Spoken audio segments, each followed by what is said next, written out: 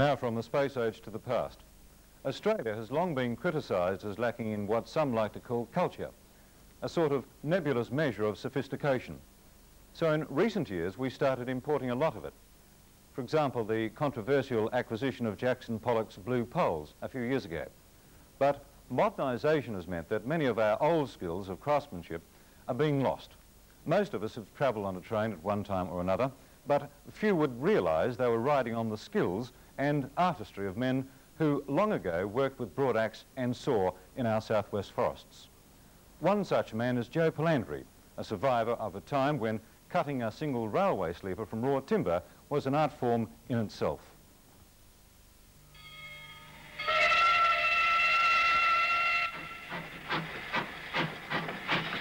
The steam-driven locomotives of yesteryear depended on a reliable and extensive railway system to transport required cargo from one place to another throughout the state.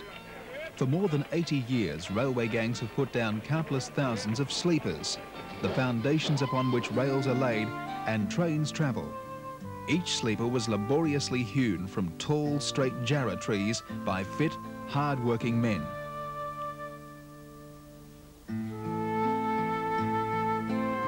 Joe Palandri and men like him cut sleepers in and around Cowaramup till just after the Second World War. The old railway supply line from Augusta through Cowaramup and on to Bunbury sits on locally hewn sleepers. Sleeper cutting is an art, an art passed down from generation to generation, experienced hand to freshman. Joe Palandri picked up his axe once again to rekindle that art. A tree selected, the hewer decides the safest direction in which the tree should fall and cuts into the trunk on that side.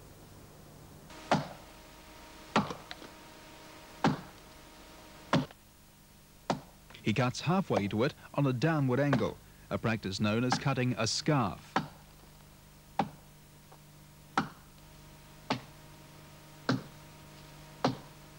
Satisfied it's deep enough, he then ring barks the tree.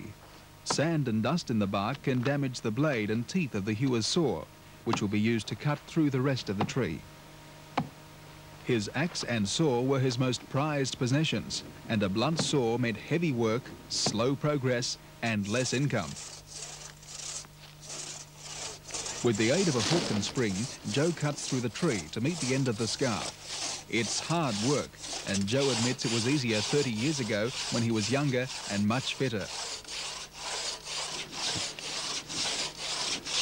The tree begins to crack, its lofty branches lean toward an imminent descent, and the most dangerous part of a cutter's chore comes to a close as the tree crashes to ground.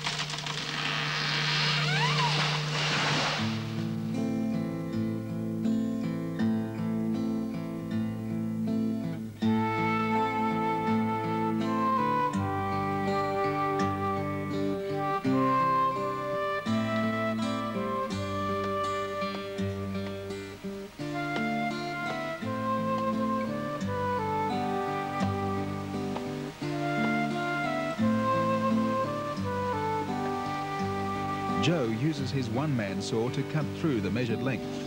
That twig pushed through the end of the saw prevents sideward movement and balances it to allow easy sawing. The same principle applies today in the counteraction of forces experienced with bridge construction. Wedges are used to help widen the gap and allow easier cutting. In his day, an average hewer would cut and hew eight sleepers a day. Good hewers would finish 12 a day, while gun cutters, as they were known, could produce up to 20 sleepers in a day's work. The section of trunk cut, the log is completely stripped of its bark. With the use of a hook and crowbar, it is rolled over for barking of the underside. A template is used to outline the sleeper's shape, and with the use of special wedges or billets, the log is split in two. Now comes the cutter's most demanding chore, the scoring, trimming and fine shaving of the actual sleeper. Necessary preliminaries are taken. Small logs known as skids are used to lift the split log from the ground. Underneath, a bed of bark prevents the hewer's timming axe, or broad axe, from blunting on the hard and sandy forest floor. If the hewer's cutting axe and saw were treated with respect, his broad axe was treated like a pair of false teeth. It is this implement which squares and finishes off a sleeper, which has to pass the critical eye of a purchasing inspector before payment. Ever safety conscious, the hewer is careful not to be cut open by its sharp blade. He works with one foot well back and the other wide of the cutting line of the axe. Intense concentration is required to maintain a true line and one moment of distraction could easily ruin two hours of heavy, sweaty and back-breaking work.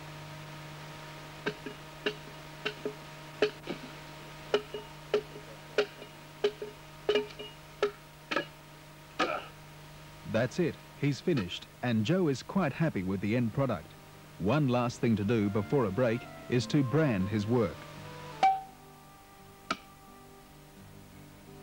For a load of 16 sleepers, the hewer received about £2 and 15 shillings, or 3 shillings and sixpence a sleeper. The sleeper cutter's campsite was at best simple. He had the bare necessities for survival for days and sometimes weeks in the bush. The trademark of the Australian bush legend, the billy can over an open fire, was a constant companion and the provider of at least a few minutes of tranquility.